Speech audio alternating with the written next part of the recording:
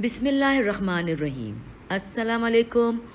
Hope you all are fine and enjoyed 14 August celebration. Children, I'm Ms. Farhat Abbasi from Kars Public Higher Secondary School. I'm taking SST of class 4. Children, our new topic is peace and conflicts. Before starting a new chapter, peace and conflicts, Let's take a brief review of our previous class 3. We have studied human rights, in which we studied the basic rights and freedom that belong to every person in the world from the birth until death. बेटे ये chapter जो है हमारा peace and conflicts human rights के ऊपर base करता है जो सोसाइटी में ह्यूमन राइट्स की इन हो, जहाँ लोगों को बराबरी के हकूक़ ना दिए जाएँ और उनके साथ ज़्यादतियाँ की जाएँ, गरीब गरीब से गरीब तर होता जाए, अमीर अमीर से अमीर तर होता जाए और इंसानों को बराबरी के हकूक़ ना दिए जाएँ तो वहाँ पर उस सोसाइटी में डिसबैलेंस होने की वजह से एनजाइटी फ्रस्ट्रेशन, एंगर और गुस्सा पैदा होता है। ठीक है the basic rights are based on share the value like dignity जहाँ पर लोगों को इज़्ज़त ना दी जाए फेयरनेस यानी कि उनके साथ, ईमानदारी के साथ, उनके साथ बराबरी का हकूक़ उनको ना दिए जाएँ इक्वालिटी एंड इंडिपेंडेंस यानी कि एक बच्चा जो पैदा होता है, आज़ाद पैदा होता है और मरते दम तक वो आज़ाद होता है। उसको कोई क़ैद करके नहीं रख सकता। उसके हकूक़ कोई दबा के और उसके हकूक़ कोई छीन छीन नहीं सकता है। और ये प्रोटेक्शन हमें बाय लॉ मिली है। If you try to take other rights by force the action में क्रिएट कॉन्फ्लिक्ट्स और फाइट अगर हम किसी के हकूक़ जो हैं, ताकत के ज़रिए छीने तो उसके रिएक्शन में क्या होगा? लोगों में एनजाइटी होगी फ्रस्ट्रेशन होगा कॉन्फ्लिक्ट्स होगा और आपस में लड़ाई होगी। Sometime people do not agree on certain issues in this situation we say there is a conflict between them अगर किसी एक इशू के पर दो पार्टी एग्री नहीं हो रही है और उस सिचुएशन में हम दो दो लोगों के दरमियान जो है वो क्या क्रिएट होगा? कॉन्फ्लिक्ट वॉर एंगर और डिसएग्रीमेंट पैदा होगी। Key points what is peace and conflict number two common causes of conflict in organization and among people number three affect of conflict number four strategies for resolving conflict number five how to deal with conflicts. Number six, how to calm down. Number seven, role of United Nation. Number eight, aims and achievement of United Nation. What is conflict? Conflict is defined as a serious disagreement or argument. Conflict implies clash of interests. It is also defined as a clash between individual arising out a difference in thought, process, opinion, attitude, understanding, interest.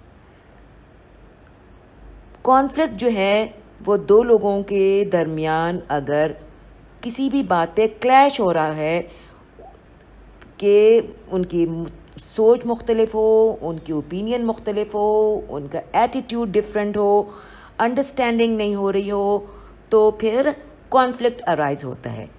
Conflict result is heated argument physical abuse and definitely loss of lives and harmony conflict conflict होने की वजह से जब conflict किसी किसी दो के दरमियान अगर किसी बात पे ना इतफाक़ी होगी तो आपस में बहस होगी।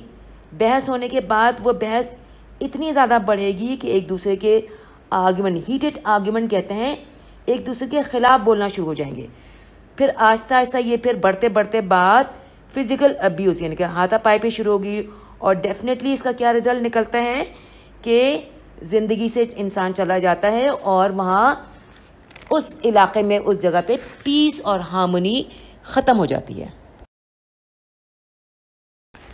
What is peace when there is no unrest in a country no war with another country और when a war has ended there is peace अगर किसी जगह पर सिचुएशन बहुत ही स्मूथ हो, ना वहाँ कोई झगड़ा हो, ना कोई लड़ाई हो, ना कोई आर्ग्यूमेंट हो, ना ही कोई लोगों के डिफरेंट ओपिनियंस हो तो उस जगह पर अमन होता है।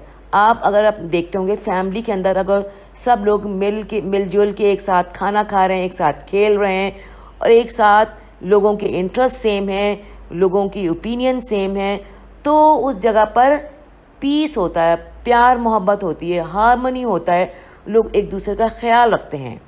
No war with another country या फिर किसी भी मुल्क में दूसरे किसी भी मुल्क की दूसरे कंट्रीज़ के साथ अगर वॉर ना हो, तब भी पीस होता है। या फिर when a war has ended there is peace या फिर जंग के ख़त्म होने के बाद पीस होता है। Children this picture shows conflict between countries can lead to war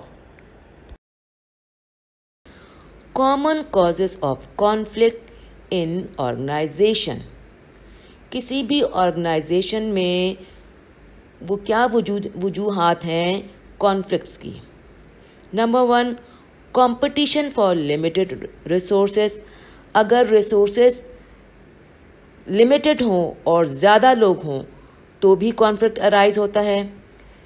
Number two diversity of goal means task conflict is a disagreement about the task और goal example uncertainty increase if a management does not clearly assign work task to employees employees में experience anger and disagreement अगर किसी भी organization में management बहुत ही clearly अच्छी तरह उस काम को ना समझाएँ।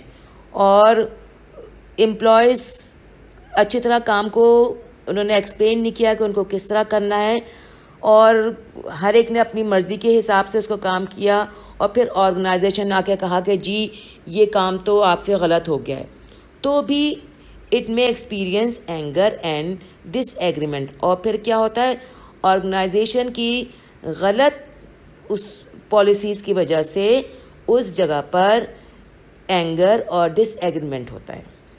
Lack of resources the availability and allocation of scarce resources is a major source of conflict in an organization अगर किसी जगह पर लैक ऑफ़ रिसोर्सेज यानी कि रिसोर्सेज बहुत कम हैं availability and allocation of scarce resources अगर रिसोर्सेज बहुत कम हैं और तो भी वहाँ पर ऑर्गेनाइजेशन में कॉन्फ्लिक्ट पैदा होता है, लड़ाई एंगर एनजाइटी पैदा होती है। Change organization including reorganization downsizing and changing business strategies increase uncertainty.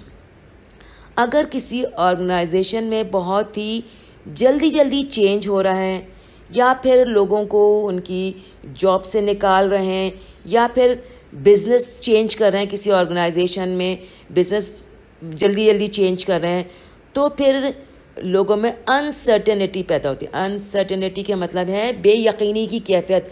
उनको पता नहीं होता कि आज वो हैं कि नहीं हैं, यानी कल उनकी छुट्टी तो नहीं हो जाएगी। तो जल्दी जल्दी चेंजेस की वजह से किसी ऑर्गेनाइजेशन में कॉन्फ्लिक्ट का बायस बनता है।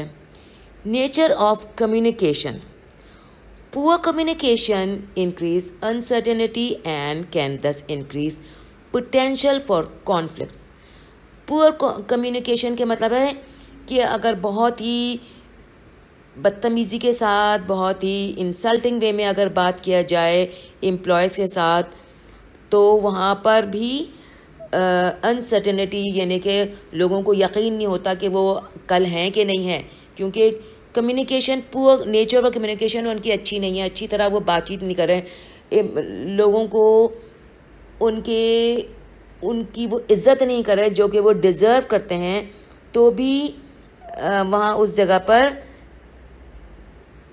कॉन्फ्लिक्ट होने का बायस बनता है।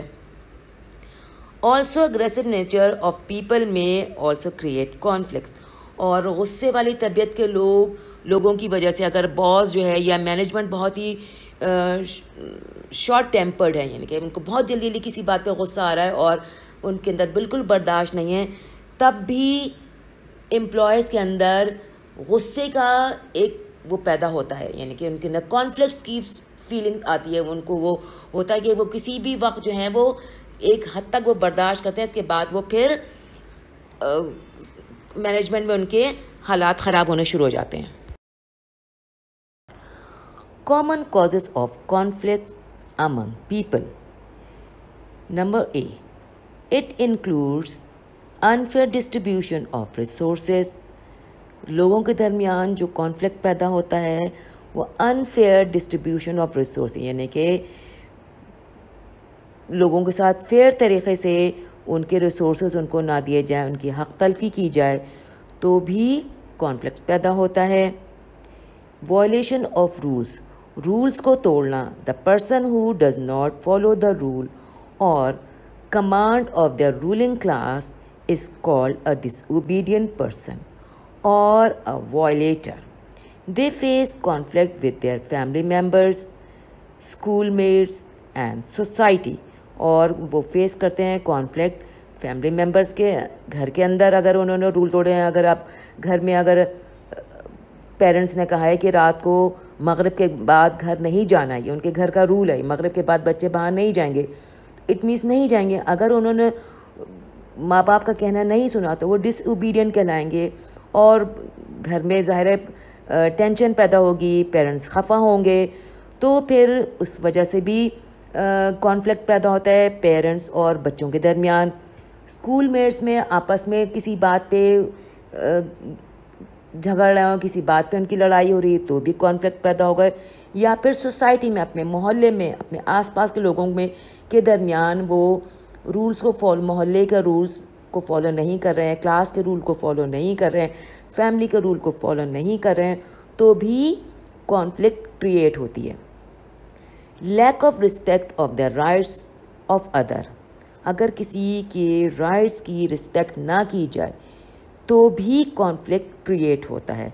Every person has to respect of the right of the other people in order to maintain a happy life one one must respect other children's properties such as bicycle games toys books etcetera अगर इसमें, इस, इसमें आपको बताया जा रहा है कि आपको एक दूसरे के राइट्स का रिस्पेक्ट करना है और एक दूसरे की प्रॉपर्टी को भी उसको वो उसका ख्याल करना है। ये नहीं कि आपके बगैर किसी इजाज़त के, किसी की आपने बाइसिकल उठा ली, किसी के टॉय उठा लिए, किसी की बुक बैग से निकाल दी तो इस वजह से भी कॉन्फ्लिक्ट क्रिएट होता है। This picture shows A serious disagreement or argument causes conflict between two children. Effects of conflicts or effects of war. Conflicts and war cause a lot of damage, suffering and pain. During a war or conflict, it is difficult for normal lives to continue. War के क्या affects क्या पड़ते हैं? यानी कि war के बाद क्या अफेक्ट्स होते हैं? कि लॉट्स ऑफ़ डैमेजेस होते हैं, हर चीज़ टूट फूट जाती है, तबाह हो जाती है, लोग ज़ख्मी हो जाते हैं। ड्यूरिंग अ वॉर और conflict it is difficult for normal life to continue और कई महीनों तक लाइफ जो है वो नॉर्मल पैटर्न पे नहीं आती है। लोग बेयार और मददगार लोगों के घर ख़त्म हो जाते हैं। चीज़ें तहस नहस हो जाती है, टूट फूट जाती है, तबाही मच जाती है। War can stop people from getting education और वॉर के, की वजह से तमाम स्कूल्स कॉलेज यूनिवर्सिटीज़ बंद कर दी जाती हैं ताकि बच्चे अपने घरों में महफूज रह सकें। इट कैन इंटरप्ट और stop normal services example provision of electricity health care services और वॉर के ड्यूरिंग वॉर हर चीज़ बंद कर दी जाती है like provision of electricity electricity की सप्लाई बंद हो जाती है हेल्थ केयर सर्विसेज़ बंद हो जाती है, लोग आराम से इजीली हॉस्पिटल मूव नहीं हो सकते। लाइट इस वजह से भी बंद हो जाती है कि वॉर में ब्लैकआउट होता है ताकि कोई भी रात के वक्त अगर बत्ती किसी के घर में लाइट जल रही हो तो दुश्मनों को वो दूर से वो लाइट नज़र आ जाती है और वो उस जगह पे ब्लास्ट कर देते हैं। पीकल पीपल कैन डाई और become injured during war time can be stressful और वॉर के दरमियान कई कई लोग मर जाते हैं इंजर्ड हो जाते हैं और during life can be stressful और वॉर के ड्यूरिंग वॉर जो लाइफ जो होती है, बहुत ही स्ट्रेसफुल होती है। खाने पीने की चीज़ें आराम से नहीं मिल सकती। लोग ज़रूरत ज़रूरत की ज़रूरत की चीज़ें आराम से नहीं ख़रीद सकते। और कई कई लोग मर जाते हैं लोगों के फैमिली मेंबर्स में से कोई ना कोई मर जाता है और लोग ज़ख्मी हो जाते हैं। This picture shows the destructions of schools, college, universities, houses, building after the war. Strategies for resolving conflicts. वो कौन से तरीक़े होने चाहिए जो कि कॉन्फ्लिक्ट्स को ख़त्म करने के लिए फ़ायदेमंद हो?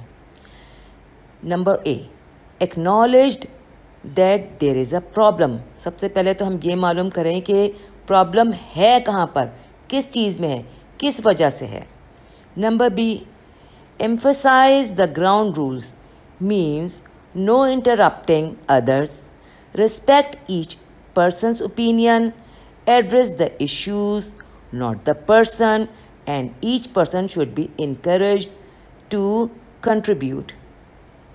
यानी कि एम्फेसाइज किया जाए कि ग्राउंड रूल क्या है किस वजह से ये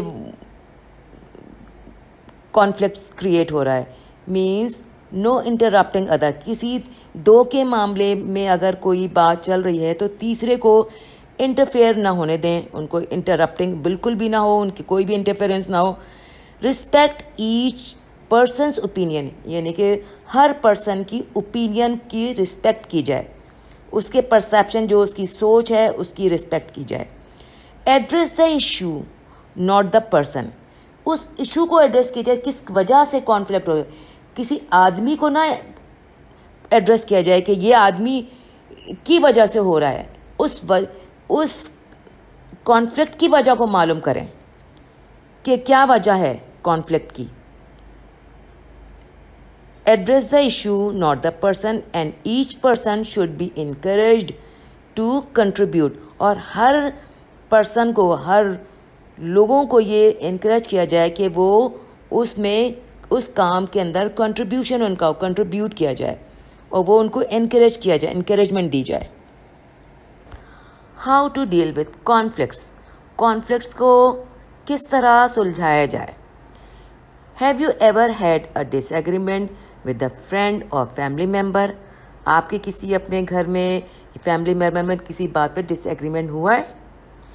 Conflicts can make us feel angry sad और फ्रस्ट्रेटेड अगर किसी बात पे डिसएग्रीमेंट हुआ है, आपको किसी बात पे गुस्सा है तो कॉन्फ्लिक्ट मेक अस फील हमें गुस्सा आता है, हम सैड हो जाते हैं, हम फ्रस्ट्रेटेड हो जाते हैं, बेचैन हो जाते हैं। When we feel strong feeling it is difficult to think clearly अगर हमारे इस किस्म की गुस्से की हालत में कहते हैं ना कि गुस्से की हालत में इंसान सही फैसला नहीं करता है, इसीलिए अल्लाह ताला ने गुस्से को हराम किया हुआ, कहा है कि गुस्सा जो है वो शैतान दिलाता है। तो उसमें कोई भी फ़ैसला, जो हम गुस्से की हालत में कोई भी फ़ैसला करते हैं, वो गलत होता है। It is difficult to think clearly क्योंकि उस वक्त हमारी सोचने की सलाहियत बिल्कुल ख़त्म हो जाती है। There are some key points to deal with conflict और यहाँ पर आपको कुछ की पॉइंट्स दिए जाते हैं कि कॉन्फ्लिक्ट्स को, गुस्से को वॉर को किस तरह ख़त्म किया जाए। ए पॉज फॉर थाट थोड़ी देर के लिए अपनी सोच को जो आप सोच रहे हैं, दिमाग आपका चल रहा है तेज़ी तेज़ी। तो आप थोड़ी देर के लिए अपने, अगर आप गुस्से में कहते हैं ना, अगर आप गुस्से में हो तो आप जाके ठंडा पानी पी लें, आपका गुस्सा नॉर्मल हो जाएगा। अगर आप खड़े हों तो आप बैठ जाएँ। तो इसी तरह पॉज फॉर थॉट्स अपने सोचों को थोड़ा सा लगाम दे, रोके। Take time out and approach the conflict with an open mind और टाइम दें उस बात को। यानी कि कॉन्फ्लिक्ट को ख़त्म करने के लिए ओपन माइंड से सोचें कि किस तरह इसको ख़त्म किया जाए। यानी कि गलती में, गुस्से में कोई गलत फैसला ना करें। आस्क एन इंडिपेंडेंट और न्यूट्रल पर्सन टू हेल्प या फिर घर के किसी बुज़ुर्ग को या किसी न्यूट्रल बंदे को उसके बीच में दो लोगों के दरमियान, उस फैसले के बीच में उनको बिठाया जाए और दोनों की बात सुनने के बाद सही फैसला उनसे करवाया जाए। कंट्रोल योर इमोशंस अपने जज्बात पे काबू पाना है, यानी कि गुस्से की हालत में आपके इमोशंस यानी कि आप बहुत ही जज्बाती हो जाते हैं और गुस्से में आपकी शक्ल का स्ट्रक्चर ही चेंज हो जाता है, लाल पीले हो जाते हैं। और क्या नाम है, गुस्से की हालत में आपने देखा ना कि किस किस्म की आँखें बाहर आ जाती हैं जिसम कांपने लगता है। कंट्रोल योर इमोशन यानी कि आपको अपने गुस्से को रोकना है इमोशंस को कंट्रोल करना है। यही तो एक ट्रिक है अपने अपने आप को कंट्रोल करने के लिए। Listen and think about the other person point of view गुस्से में आप सिर्फ़ अपनी ही बात ना कहते चले जाए। उसकी भी सुने कि वो क्या कहना चाह रहा है। किस वजह से आप मिसअंडरस्टैंडिंग हुई है, उसकी बात भी सुनिए। स्पीक कामली और प्रेस योर फीलिंग अगर आप वो गुस्से में बोल रहा है तो आप ज़रूरी नहीं, उसके बाद उसका जवाब गुस्से ही से दें। एक आदमी अगर गुस्से तो दूसरा आदमी अगर धीमी आवाज़ में बात करेगा तो गुस्सा खुद ब खुद ही फिफ्टी परसेंट हो जाएगा, आधा हो जाएगा। स्पीक कामली और प्रेस योर फीलिंग अपनी फीलिंग्स को कंट्रोल करें। विदाउट ब्लेमिंग अदर पर्सन एक दूसरे को ब्लेम करने के बजाय अपने आप को कंट्रोल करें। Think about how to solve the problem without making it worse और उस बारे में सोचिए कि इस प्रॉब्लम को किस तरह सुलझाना चाहिए, ना कि और उसको ख़राब होने से वर्स होने से किस तरह उसको हम बचाएँगे। How to calm down there are ways through which we can peacefully resolve conflicts and things अपने आप को किस तरह काम डाउन करना, अपने आप को किस तरह गुस्से की हालत से बाहर लेकर आना है। There are ways through which we can peacefully resolve conflicts and thing और यहाँ कुछ तरीक़े हैं जो कि हम, जिसको हम अगर अप्लाई करें तो we can easily count down stop what you are doing जो अगर आप कर रहे हैं गुस्से की हालत में तो आप उसको रोक दीजिए आप। Refocus your senses by thinking about what you see what you can see hear smell taste and touch refocus करें, यानी कि अपने आप को एक जगह फोकस करें अपने सेंसेस को और सोचें कि आप क्या देख रहे हैं, क्या सूंघ रहे हैं, क्या टेस्ट कर रहे हैं, क्या टच है। यानी अपनी अटेंशन को डिस्ट्रैक्ट होने के बजाय एक उसको फोकस करें। टेक अ डीप ब्रेथ एक लंबी सी सांस सांस खींचें और अपने मसल्स को रिलैक्स योर मसल्स और अपने मसल्स को रिलैक्स कर दें। डिस्ट्रैक्ट योर सेल्फ अपने आप को डिस्ट्रैक्ट कर दें, जो आप काम कर रहे हैं, उसको बिल्कुल छोड़ दीजिए। Stop what you are doing right now जो काम आप कर रहे हैं, उसको आप छोड़ दीजिए।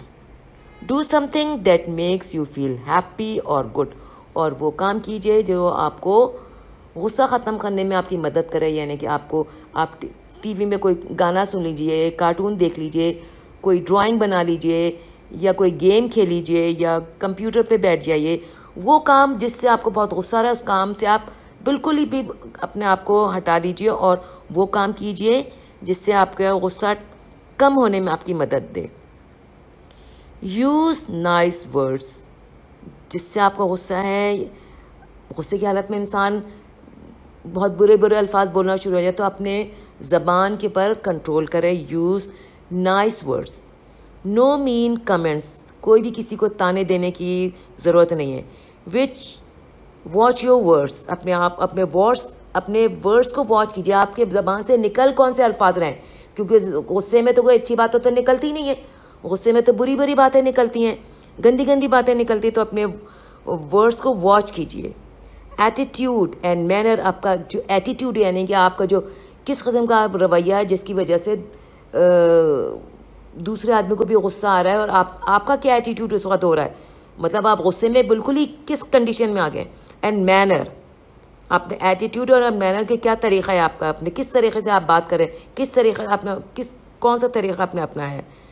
Watch all the things stop assuming और किसी दूसरे के ख़िलाफ़ खुद से अज्यूम करना छोड़ दीजिए। खुद से सोचना कि उसने यूँ कहा होगा तो उसने ये कहा होगा तो उसने फ़ला कहा होगा। डोंट ब्लेम एनी और किसी को ब्लेम करने की ज़रूरत नहीं है। Role of United Nations United Nation is an organization that was created on October twenty fourth 1945 When it was started, UN only had 51 member states. Now there are 193 members in UN. It aims to promote international and worldwide peace and harmony. They help to increase good communication that can prevent or stop conflict.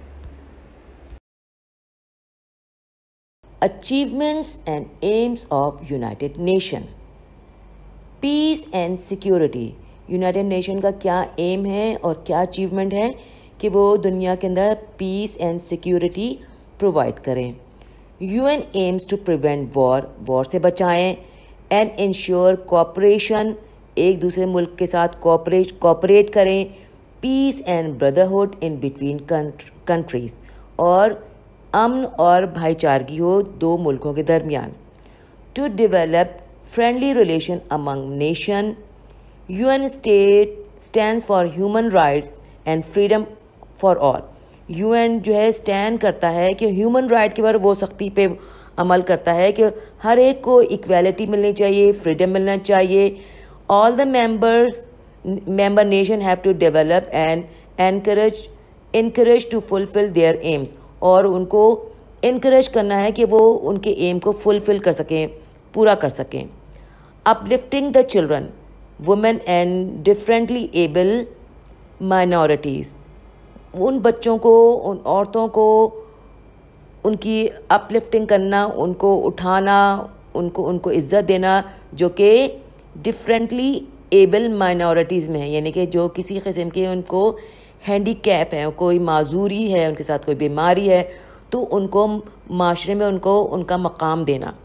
They fulfil the needs for special attention for human dignity और उनको, उनकी special needs और उनकी dignity को uplift करना है and the same right of differently able and protection among the discrimination यानी society में उनके साथ जो बुरा सलूक किया जा रहा है तो उनको सेम राइट्स दिए जाएँ, उनको सेम उनके, जो उनकी ज़रूरतें, उनकी नीड्स जो कि एक नॉर्मल पर्सन को, एक हेल्दी पर्सन को मिलती है तो डिफरेंटली एबल पर्सन को भी उन सेम राइट्स मिलने चाहिए। Protection from poverty and hunger UN का एक और एम और अचीवमेंट है कि पावर्टी गुर्बत और हंगर से लोगों को बचाना, यानी कि आपने देखो इथोपिया अफ्रीकन साइड पे जो कंट्रीज़ हैं, वो, फाका कशी में मुबतला हैं। और पावर्टी बेानतहा एक नॉर्मल जो लकीर हो तो उससे नीचे हैं वो पावर्टी यानी कि बहुत ही गुर्बत की हाल में वो ज़िंदगी गुजार रहे हैं तो उनको भी, उनको प्रोटेक्ट करना, उनके राइट्स उनको देना। फाइटिंग अगेंस्ट वेरियस डिज़ीज़ और यूएन का ये भी काम है कि जो ऐसी बीमारी, जो कि दुनिया के अंदर polio measles diphtheria chicken pox इस बीमारियों को कंट्रोल करना, यानी कि आपने ये भी देखा कि आपके घर पे भी पोलियो ड्रॉप पिलाने वाले आते हैं और तो यूएन की मदद की वजह से वो फ्री दुनिया के अंदर बीमारी को ख़त्म करने के लिए वो दुनिया में डोनेट करते हैं कि वो बग़ैर किसी पैसों के लोगों से वो लोगों को पोलियो उन बच्चों को पोलियो को ड्रॉप्स पिलाए जाते हैं ताकि दुनिया से इस बीमारी का ख़ात्मा हो। एंड ह्यूमन राइट्स और ह्यूमन राइट्स के लिए वो लोगों के लिए आवाज़ उठाते हैं कि हर एक को इक्वल राइट्स मिलना चाहिए। यानी कि कोई भी डिस्क्रिमिनेशन ना हो किसी भी राइट के लिए। Recap what is peace and conflicts number two common causes of conflict in an organization and among people number three effects of conflicts. Number 4 strategies for resolving conflicts. Number 5 how to deal with conflicts. Number 6 how to calm down. Number 7 Rule of United Nations. Number 8 aims and achievement of United Nations. Assignment Define the term peace and conflict. Question number 2 What does the UN do? Question number 3 What are some of the things that happen when there is a war. Number four, why do we need to be calm to resolve conflict? Number five, what strategies should we must follow to resolve conflict and peace? Number six, how to count down yourself. Work page 57 in your book, choose the best option to resolve each of the conflicts. Work page 58 in book, mark the sentence with true and Children, hope you all understand and enjoy the lesson Peace and Conflict. Thanks for watching video. Bye. Allah Hafiz.